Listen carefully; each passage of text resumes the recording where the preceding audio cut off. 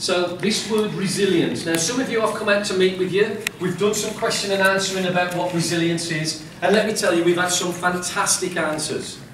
Particularly our primary schools have given me some really fantastic answers about what resilience is. Keep going.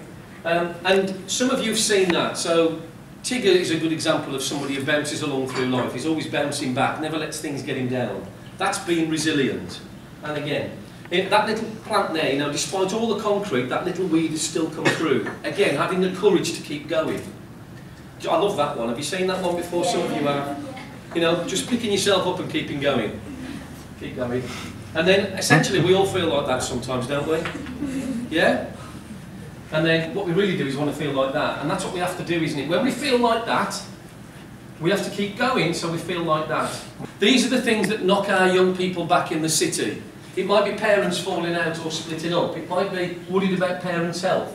It might be exams and grades. It might be falling out with friends. It might be feeling bullied um, or intimidated by a situation and so on. All of those things can have an impact on our young, young people. So, what does a resilient person look like? Some of you have seen me talk about this.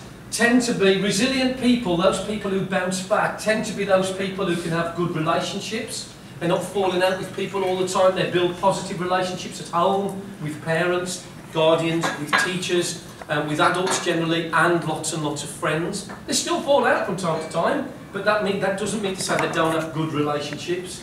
They can be confident about what they're doing is good and that they can, they can perform really well. They have hope for the future.